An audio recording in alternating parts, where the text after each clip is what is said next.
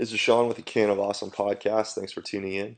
Uh, I've done a series of audio interviews this past year, and I'm starting to do screencasts. And the whole goal is to just share some of the techniques and uh, tricks and uh, processes that I've acquired in building three different companies, and uh, just share it with fellow startup founders. So what I'm going to show you today is a super simple, uh, just little Chrome extension that I discovered. It's called Table Capture. If you just Google Table Capture, it's the first thing that comes up. Um, it presumes that you're using Chrome as a browser, and if you are, then you just uh, navigate to that page and then click that button to install it. And what it does is it's super useful for uh, yeah, taking tabular data out of a web page and working with it in a spreadsheet. And I'll just show you an example of what I mean uh, and how this saves you time. So let's say we wanted to know uh, the average population of uh, states in the United States. So population by state. We might look that up and find that here's the Wikipedia page. And here's a list of all the states, and there's the population. Um, getting this data into a spreadsheet is not exactly easy. And here's, we'll show you, uh, like we might ordinarily, without this extension, we probably try to go and just copy this table here and then I'm on a Mac, so I use numbers, but you could just easily be using Excel here. But if you try to paste that data into a spreadsheet, you're going to see that it just munges it up and it tries to put it in one column, and that's not useful. What we want is we just want to like map that table into the spreadsheet and have it appear in all columns. And so, uh, so let's not do that. But I have this uh, that Chrome extension that I installed. It adds this little red icon you see right here, and when I click on that, it's going to bring up a list of all the tables that it found in this web page.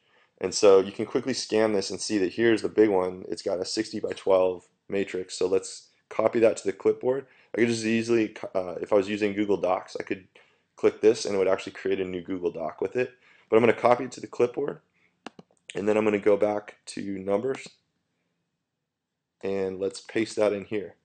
And you can see that it properly separates it and it turns it into uh, into the, the columns. So now we can work with it um, just for the sake of clarity. Let's bold that.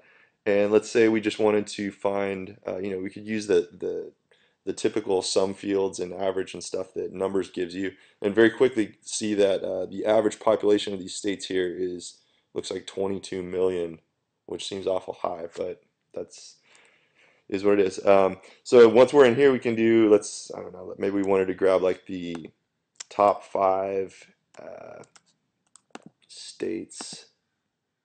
Oops. And we wanted to make like a little chart with it. We can quickly do that type of thing in here. So um, I've found uh, this table capture hugely useful. It, it's really useful if you have homegrown tools and you don't uh, it's just you just want to ask questions really quickly and not have to like write a new app to be able to get at certain things and you just want you know copy it right out of the web page paste it into a spreadsheet and work with it there. So super useful. Um, wanted to show you that.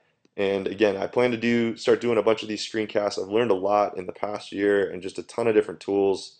Uh, I do three companies Jumpbox Scratch Audio and Short Salepedia and I just I plan to just kind of show off kind of all this stuff that I've been working with and uh, hopefully share in the hopes that if you're a fellow startup founder, you're going to find it useful and it'll help you be more productive. So if you want to subscribe, it's just canofawesome.com and uh, you can see some of the past audio interviews there. And I'll just be posting these screencasts going forward. So thanks for listening. Hope to see you soon.